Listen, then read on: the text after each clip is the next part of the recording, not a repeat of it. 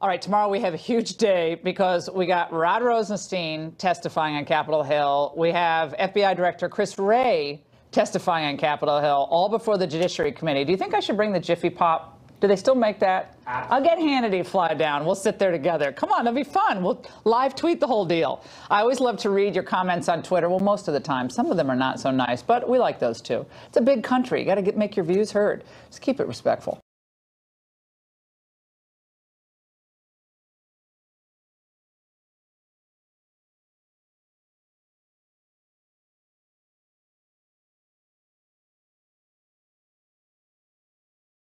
Live. Hello and welcome to Fox News at Night. I'm Shannon Bream in Washington. The president, fresh off a campaign rally in North Dakota, is pushing for a Supreme Court justice who can go the distance. We have a pick to come up. We have to pick a great one. We have to pick one that's going to be there for 40 years, 45 years. We have got team coverage tonight. Kevin Corke standing by in Fargo, where President Trump just finished up a wild rally. Trace Gallagher following the media's meltdown. But we begin with Chief National Correspondent Ed Henry with the political fallout of Justice Kennedy's retirement announcement. All right. And how nasty is this battle shaping up to be on the Hill? how nasty it's going to be. I mean, look, this uh, big uh, midterm election is already going to be the biggest of our lifetime, right? And it just got more consequential. First, it was if there's a blue wave, Nancy Pelosi wants to raise your taxes, blunt the economic momentum that led the Atlanta Fed to say today we're headed for 4.5% growth. Then it was wait, no, it's bigger. If Democrats take the House, Maxine Waters is going to try to impeach the president. That's even bigger. Now it's hold on, hang in the balance in November is locking down the Supreme Court into a conservative court, maybe for the next generation. I've spoken to some of the president's top advisors who want his nominee confirmed before November. They don't want this waiting. They say it's doable to name the pick in about two to three weeks, then hearings and votes by October. But make no mistake, Democrats are going to try literally everything to try and block this nominee, regardless of who it is. Listen to Chuck Schumer today and Mitch McConnell going at it. Our Republican colleagues in the Senate should follow the rule they set in 2016 not to consider a Supreme Court justice in an election year. Anything but that would be the absolute height of hypocrisy. It's imperative that the president's nominee be considered fairly and not subjected to personal attacks. Well, personal attacks. Think about the tactics we've seen employed just in the last week and a half against Homeland Security Secretary Nielsen, chasing her out of a restaurant, stalking her home. Sarah Sanders uh, not allowed to eat at that restaurant. Maxine Waters saying, don't let Trump advisors shop in department stores. All these tactics could be used against not just the potential nominee, but the senators weighing this on the Judiciary Committee. You think the Bork hearings were nasty? You've covered all of this. You think Clarence Thomas and the high tech lynching was rough? Put on the seatbelt, Shannon, because this is going to be the resist movement meets the Supreme Court battle. Okay, no doubt about that. Now, Ed, Democrats say they want to follow what they're calling the McConnell precedent, mm-hmm. not allowing this to happen in an election year.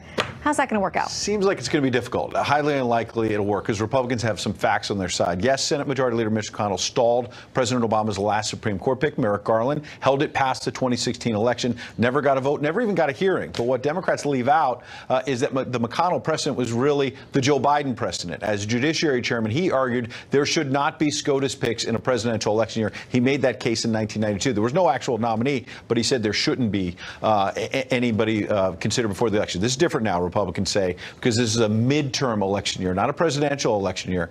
And oh, by the way, do we mention that in August 2010, the Senate confirmed Barack Obama's very liberal pick, now on the court, Elena Kagan, just a few months before the 2010 midterms. And Republicans have something else in their pocket, what you may call the Harry Reid precedent. It's looking more and more like Democrats are going to regret the fact that Reid, as leader, lowered the bar to 51 votes instead of 60 to muscle through Obama's nominees. McConnell warned in 2013 this would backfire.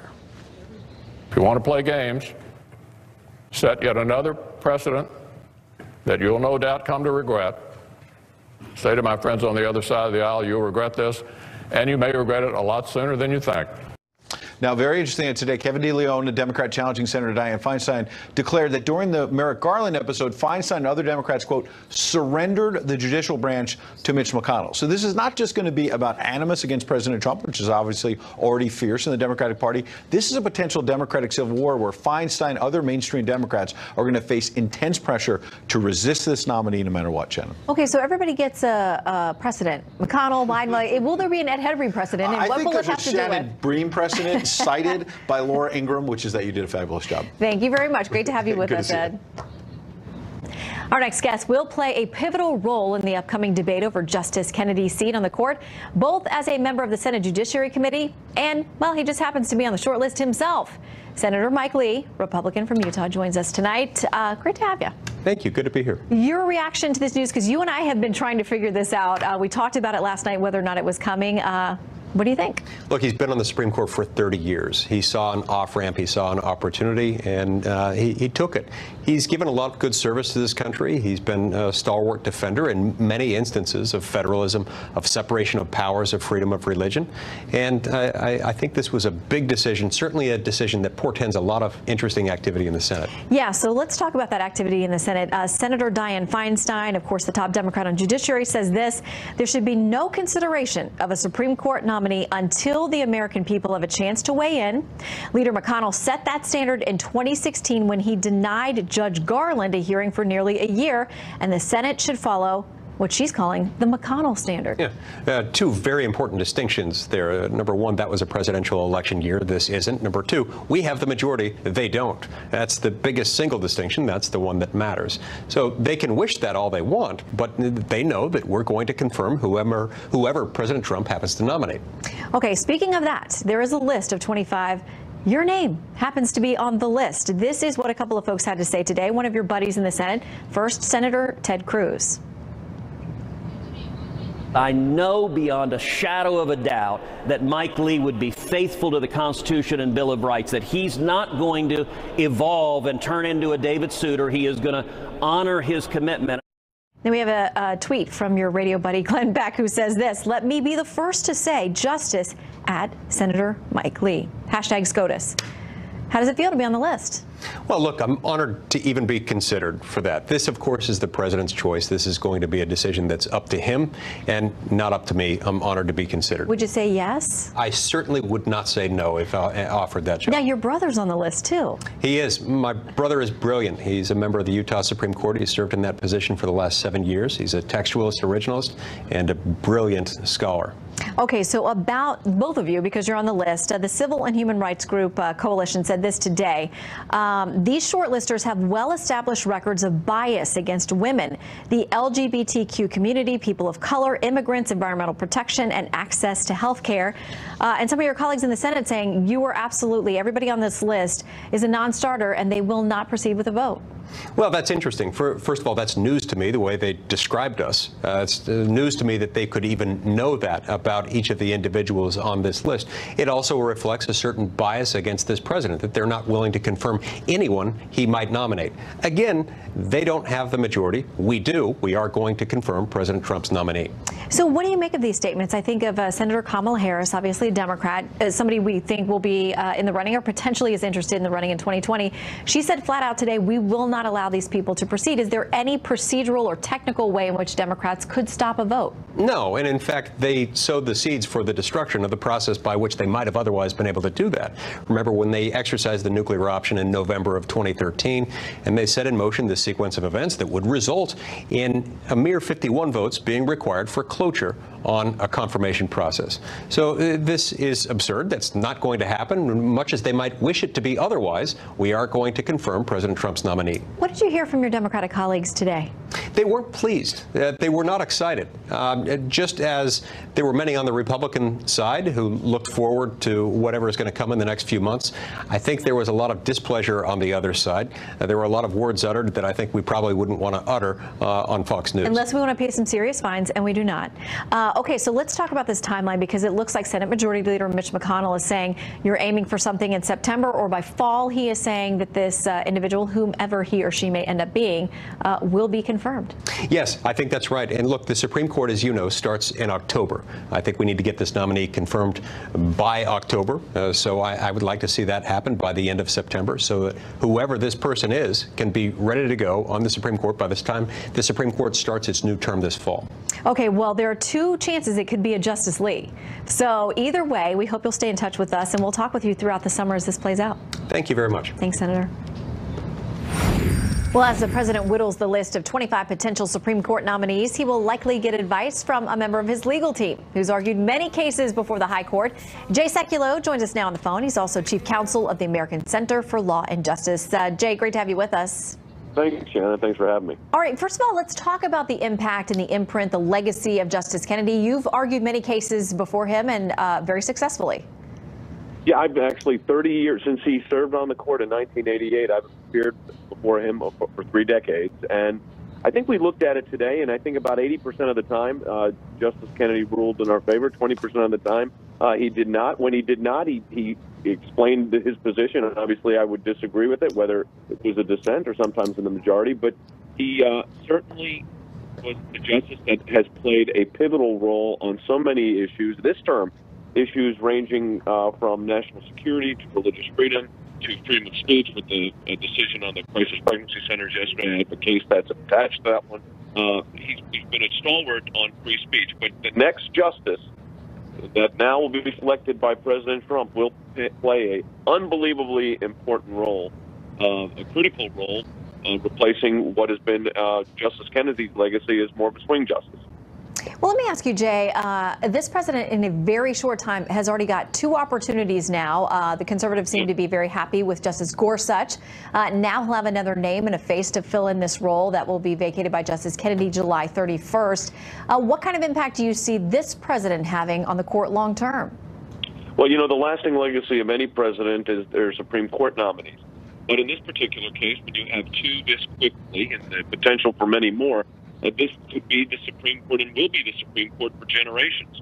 So I think not only is this a significant selection, obviously replacing someone of uh, Justice Kennedy's role, but also the fact that this is a multi generational uh, appointment. The president said today, and I think rightly so, he's looking for somebody that could serve for 40 years. And you, you've got a, a great group of nominees. You just had on uh, Senator Lee, would be fantastic. You've got people like Judge Kavanaugh, Judge Pryor, others. Uh, Judge Barrett out of the Seventh Circuit. There's just a whole list of uh, potential nominees that the president has on the list, all of which would, uh, I think, bode well for the country and the Constitution. Well, Jay, we don't have the best connection with you, so we're going to let you go, but we know you'll be a voice uh, that will be counseling the president through this process. Uh, you knowing many of the judges on this list and a lot of folks within the legal community. Thank you for your time tonight. Great to have Thanks, you. Thanks, Shannon. Bye-bye. All right, the president speaking a short while ago in Fargo, North Dakota, unleashing a brand new salvo about replacing Justice Kennedy. All right, let's go straight to White House correspondent Kevin Corke in Fargo. They were fired up out there, Kev. Yeah, you better believe it, Shannon. 6,000 people packing the Scheels Arena here in Fargo. By the way, there was another 6,000 that were turned away. Really quite incredible to see just this incredibly long line of red hats outside here in Fargo. No surprise, a long and raucous uh, address tonight by the president to the crowd. 71-minute speech of the president talking to the crowd, imploring them to support Senate candidate Kevin Cramer. And yeah, he slammed so-called liberal Senator Heidi Heitkamp. Now, the president also, as expected, mentioned today's biggest news, the pending retirement of Justice Anthony Kennedy after 30 years on the bench. Justice Anthony Kennedy, a very special guy, also just announced a little while ago his retirement from the United States Supreme Court.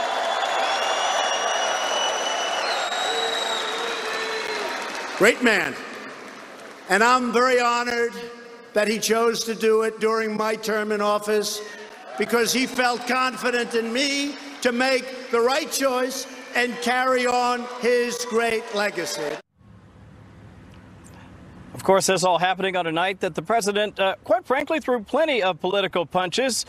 But maybe he saved his hardest hit, Shannon, for New York Congressman Joe Crowley, who you probably heard was upset last night in his primary by Justice Democrat Socialist Alexandria Ocasio Cortez. One of my biggest critics, a slovenly man named Joe Crowley, got his ass kicked. By a young woman who had a lot of energy. A lot of energy, and the folks over at TYT certainly excited about that. Uh, by the way, no surprise, he also mentioned Maxine Waters. He had uh, a lot to say about her, Shannon. He called her the uh, new face of the Democratic Party, and he mentioned very briefly that it would still be very good for the USA to get along with Russia and talked about perhaps a pending summit, which we are, of course, awaiting an official announcement that uh, he may be soon meeting with Russian President Vladimir Putin. A busy night and an exciting yeah. one inside Fargo, North Dakota. Back to you. Always get the sense that the president really loves campaigning, probably more than just about anything else he gets a chance to do when he's out on the road. Uh, no it seems like he would it. like to stay in campaign mode, uh, and the feeling seemed to be mutual with the crowd there tonight as well. Kevin. Yeah, you bet. Thank you. All right, stay with us. More on Justice Kennedy's retirement. Trace is here to tell us why some Democrats say they're now in panic mode. Listen to a bit of this reaction. Justice Anthony Kennedy has just announced that he's retiring. Oh, oh my God. All right, will the open seat be filled before the midterms? Will it drive the right or the left to the ballot box? We'll be joined by Pastor Robert Jeffress of the First Baptist Church of Dallas. How are evangelicals feeling? He joins us live next. Democrats acknowledge they don't have many options, if any, when it comes to blocking a vote on a new Supreme Court justice before the midterms. But that's not what some partisan media commentators want to hear. There appears to be a meltdown happening on air, on Capitol Hill, on social media, and within the DNC. Trace Gallagher is tracking the backlash for us late tonight. Hey, Trace.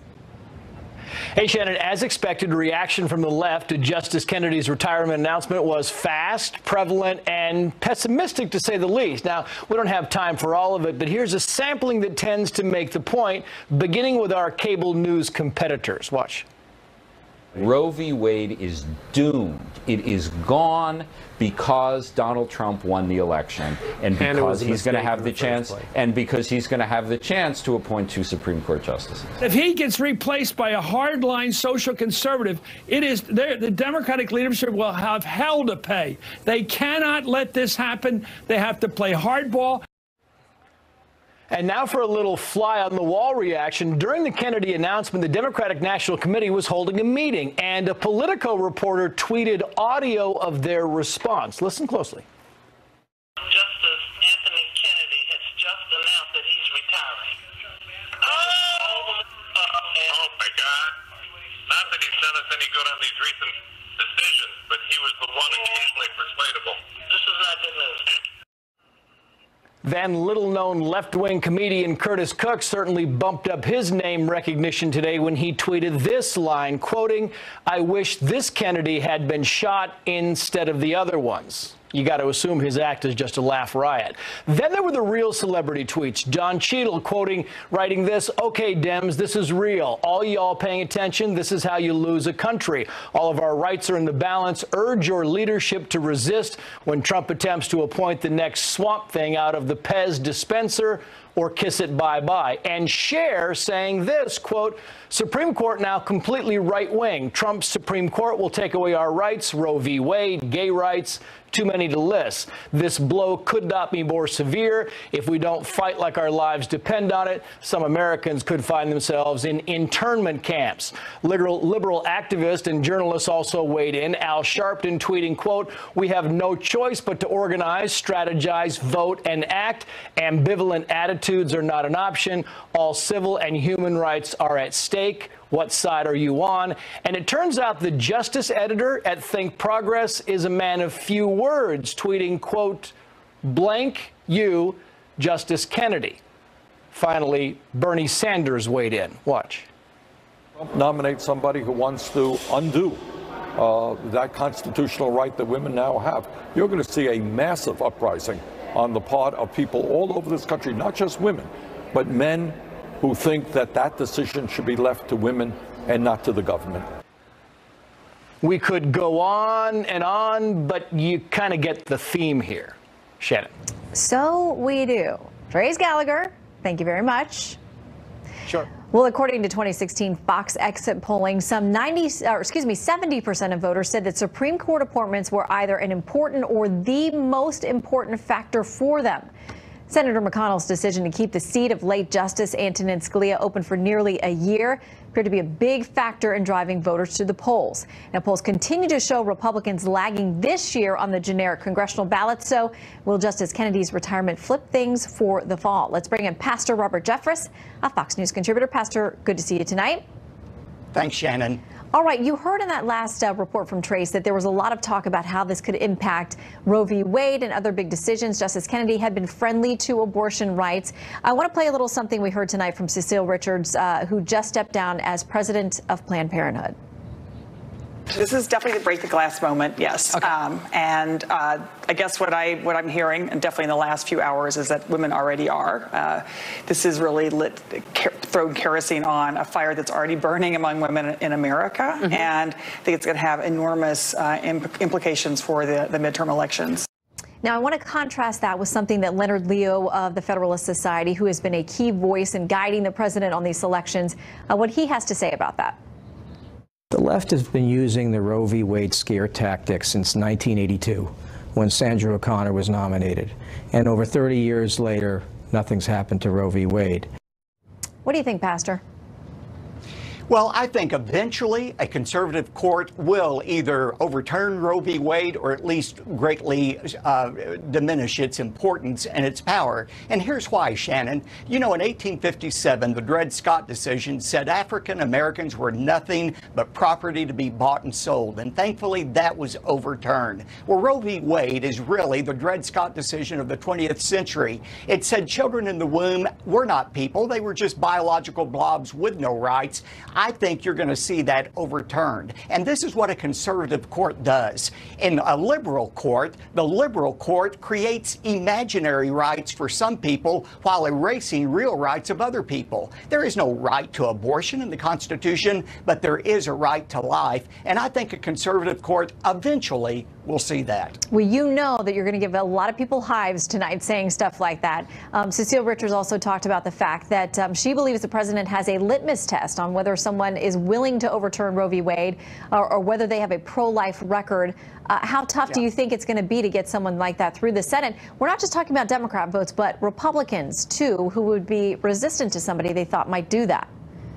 Well, I think it would be tough for anyone except for Donald J. Trump. He has the guts to push forward in this. And look, I've talked to the president not long ago. He's a smart guy. He knows the number one reason evangelicals voted for him in the largest margin in history was because of his commitment to a conservative judiciary. And we also talked about that the reason evangelicals continue to support him at a 75% approval rate is because he's fulfilling those promises, not just at the uh, uh, Supreme Court level, but at the federal court level as mm-hmm. well. And Shannon, I've spent this year saying I believe President Trump is the most consequential president since Ronald Reagan. But I'm changing that tonight. I believe he will be seen as the most consequential president since Abraham Lincoln. This remaking the judiciary is going to shift the direction of our country dramatically. It's going to cement his legacy as a conservative, mm-hmm. and I believe it will ensure his reelection in 2020. Well, depending on which end of the spectrum you're at, you love or hate that analysis uh, about the long-term impact he's going to have potentially through the courts, as you said, from the bottom up. Uh, now, how do you respond to those who uh, you you cite the evangelical approval ratings for him? How do you respond to those who say? Listen, these evangelicals seem like they're willing to put up with anything. Vulgar talk, uh, suggestions of going after your opponents, um, making fun of people, calling them names, uh, making friends with dictators. Uh, they're willing to do any of that to get their agenda accomplished, and they, they say that you're a sellout. Well, uh, they've been saying that for a long time. But look, the reason that we elected this president was because of his policies, not necessarily because of personal piety. And is anybody really going to make the argument that uh, that Hillary Clinton was a more moral character than Donald Trump? Of course not. That is ludicrous. We support this president's conservative positions, and what is happening right now vindicates our decision to choose Donald Trump as president. And I believe the Never Trump movement, little sliver of it still in evangelicalism is going to be shut up forever. Well, do you think evangelicals turn out this fall? There's always a lag, a, a lack of energy in the midterms for the president who's in the White House, for his party. Uh, do you think they'll wake up and show up? I, I think now they will. I think they see what is stake, and I would at stake, and I would really encourage the president and Mitch McConnell to push forward in this, get this done before the midterm elections. This will guarantee a huge turnout by conservatives and especially evangelicals. All right, Pastor, uh, good to see you tonight, sir. Uh, we will see if your prediction comes true. Come back soon. Thanks so much, Shannon.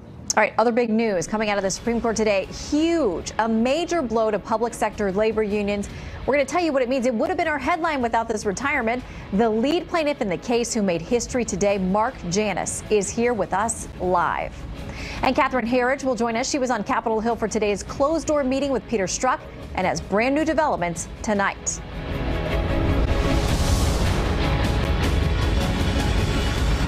In what would have been the top story from the Supreme Court today, a 5 4 decision, the justices ruling against public sector unions in the case of an Illinois state government employee, Mark Janus. He didn't want to be forced to pay union fees to an organization whose political messages he may or may not support. It's a decision that could impact millions of public sector employees just like him.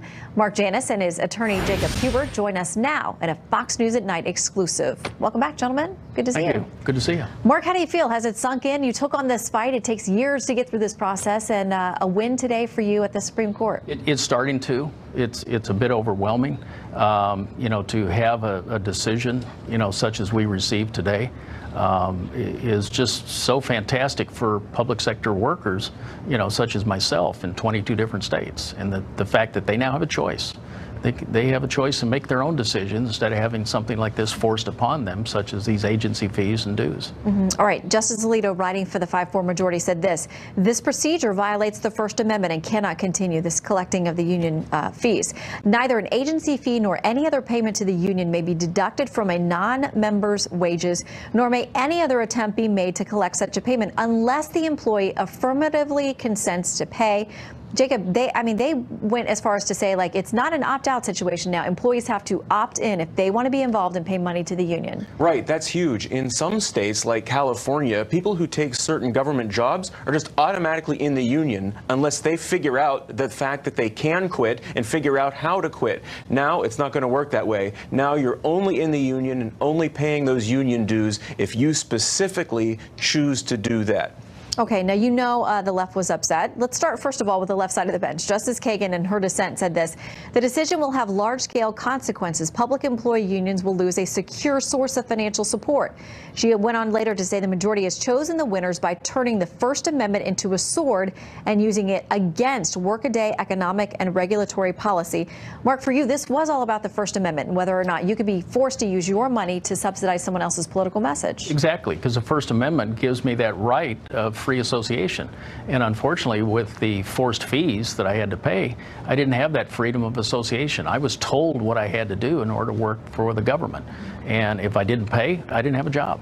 Well, and the DNC reacting this way. They say attacking unions is one of the most powerful tactics in the Republican playbook to enrich their wealthy friends at the expense of working people. In fact, Republicans are so determined to undermine workers that they held a Supreme Court seat hostage for nearly a year in order to nominate an aggressively anti union justice. Make no mistake, the nomination of Neil Gorsuch was first and foremost about winning the Janus case and taking rights away from workers. Jacob, how do you respond to that? Uh, I don't think that was the only factor at play there, but uh, it's strange to say that this case is about billionaires when the plaintiff in this case is a man, uh, Mark Janus, who is not a billionaire. And what we've had in this country are, is a scheme where unions have been taking money from workers like Mark to enrich themselves. And we're just saying those workers should have a choice. And if they want to support a union, that's great. But if they don't, they should have the option not to. We're restoring fairness here. Unions have had an unfair advantage where they've been able to take money from people who don't want to pay it, which nobody else in politics can do. This just creates a situation where, like everybody else, they have to get by on money that people will give them voluntarily. Mark, what was it that made you feel like you wanted to step up on this issue uh, and, and not be forced to channel your money uh, without your choice? Well, I, I, was seeing the, the politics that the union was conducting in, in Illinois and elsewhere. Uh, I was also seeing the fact that, you know, my money was going to positions that I just did not agree with completely. And the fact that when, when I tried to get an accounting of where my money was going, it was just not available. It was nebulous. And yeah, they gave us some some information, but it was so so vague. You could almost interpret it any way you wanted to. And so therefore, I'm I'm thinking, you know, why am I supporting this, and why am I being forced to support something that that I just don't agree with? And and that goes to the point of you know uh, not only policy, but we're also looking at the collective bargaining process itself, and the, the lack of transparency in that whole process. Well, this case overturns a 40 plus year old uh, Supreme Court precedent that's been relied on for, for unions uh, for four decades now. Uh, so, because of you guys, history has been changed. And again, would have been our top story. It's a huge case. Uh, but last we talked was before the retirement announcement, and it's good to see you again after it. Good to you see you. Thanks. Good to see you. Thanks for having us. All right, when we return, our panel's here to look at the potential impact of Justice Kennedy's retirement on the midterms. Plus, that big upset in the New York congressional primary, a virtual unknown, millennial, self described socialist takes down a powerful Democrat. So, who's winning and who's losing? I felt like our party could be better, our message could be better, and that we could be better as a country. All right, the political and media elites are salivating over the prospects of the bases of both parties getting fired up in the midterms. Democrats hoping to harness the forces that propelled a socialist community organizer to victory last night over the number four Democrat in the House. Republicans looking to energize conservatives over a fall vote to replace Justice Kennedy on the Supreme Court. Conservatives like Rush Limbaugh think this tilts in the president's favor. So let's review. Supreme Court has been clawing back freedom for the American people at breakneck speed. Close calls, but it doesn't matter. A win is a win at the court. Trump endorsed candidates winning on the Republican side. Bernie Sanders, socialist communists winning in key places on the Democrat side. Let's talk about it with tonight's panel. Fox News contributor Leslie Marshall and radio host on WMAL in DC, Larry O'Connor. And you're both in the same studio. Leslie, right. welcome. We love having you. Yeah. Keep to yourself Uh-oh. now. We've got bouncers standing by. Uh, Pals, we're pals. Okay, so yes, you are. So let's talk about this win last night. This very young uh, upstart challenger in New York taking down the number four Democrat in the House. Um, she is a former Bernie Sanders organizer. Um, she is a socialist, or at least in part, describes herself that way. Uh, Larry, are the Democrats now going to embrace? Th- is this the wing of the party? I think they have to. I think it's Bernie Sanders' party. I mean, all we've gotten from the Democrats for the last year and a half is we oppose Trump. There haven't been any other ideas. And let's face it, 2016, uh, we like to think that the, the split was in the Republican Party over Donald Trump, right? But there was a major split in the Democratic Party between Bernie Sanders and Hillary Clinton. It was a very close primary.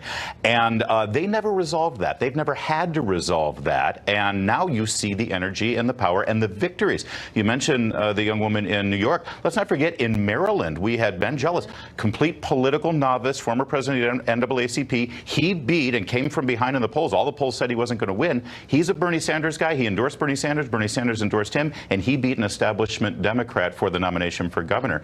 This is who the Democrat Party is right now. I think it's the Democratic Socialist Party. Are you? uh, Should we just call the party the No, No. no. Democratic Socialist? Leslie's not going to No. give you that. Embrace it, Leslie. No, no. Well, well, let me ask you, do you think that they are trending that way? Because we have seen some races, and in some of the primary races where they did have someone really far to the left, that person didn't end up winning the primary, which sets them up better for the fall, a lot of people think. Um, or is that split still there? Because listen, when I was on the floor of the DNC, the Bernie bros were not having it. There was no kissing and making up with the Hillary Clinton wing at that point. As a Democrat, that's my concern is the split. So I don't agree with you. You got to look at this one in New York. You got to look at the district. This is a majority minority district.